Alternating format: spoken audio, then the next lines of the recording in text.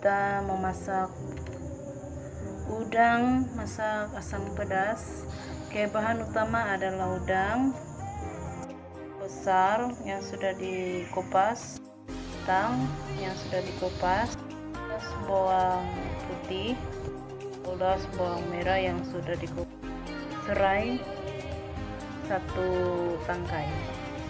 Perenca adalah tom yum adalah asam pedas dari adabi jom kita kita oke jom kita nah, panaskan periuk kuali. Oke mula-mula kita panaskan periuk oke jangan heran ah periuk nih ini periuk lama. Kuali lama. Untuk kita potong semua bahan-bahan nih dengan bentuk macam dadu lah. Pastilah bentuk apa. Biasa saya potong bentuk dadu. Kita lagi bahan satu daun lemon. Kita ambil yang muda lagi.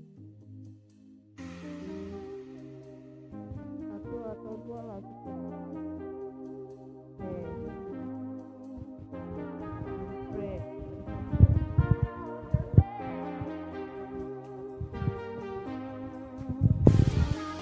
first mula tuh kita kasih taruh minyak dulu. Oke secukupnya. Aja lah. Oke first kita buat kita masukkan bawang. Masukkan bawang. Serai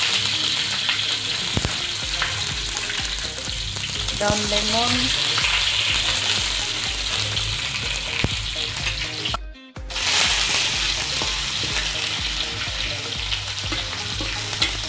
Hingga pecah minyak.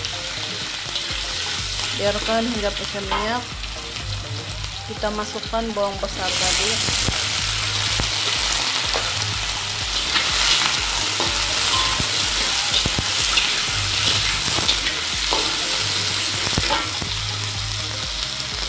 dan juga kita masukkan kentang.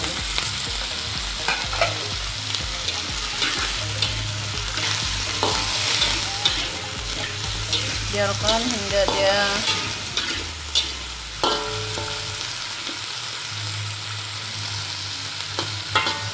goreng-goreng sampai kuning. Hmm punya wangi. Mepar terus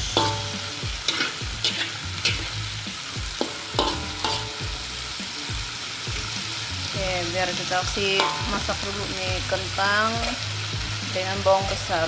Kentangnya macam udah lemak sedikit lah, coba keras. Lihat dulu.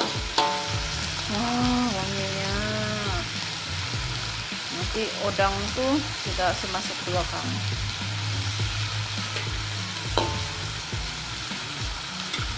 Kita tunggu masak dulu. Kita boleh masukkan sudah ini cukup rasa garam dan juga ajinomoto tak ajinomoto cukup jalan sebab asam laksa asam pedas tuh dia ada rasa sudah. Jadi garam tuh cukup saja. Tidak boleh makan banyak-banyak garam. Nanti kena tinggi darah bilang orang tua ajinomoto pun cukup kan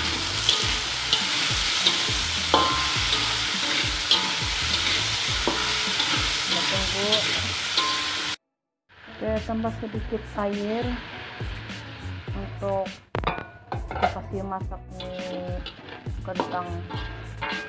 Sebab tidak bagus makan kalau keras-keras kalau ini kalau tidak sudah gigi.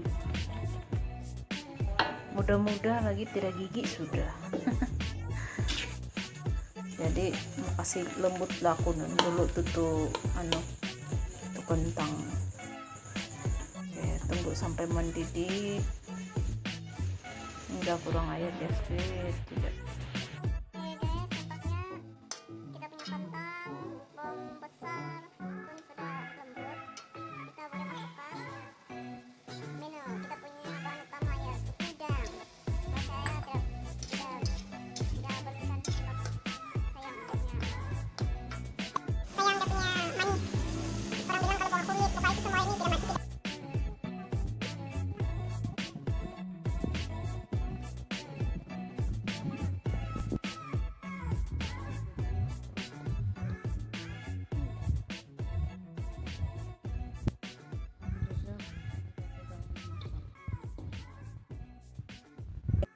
guys, inilah dia punya penampakan. Oke. Hmm, yummy.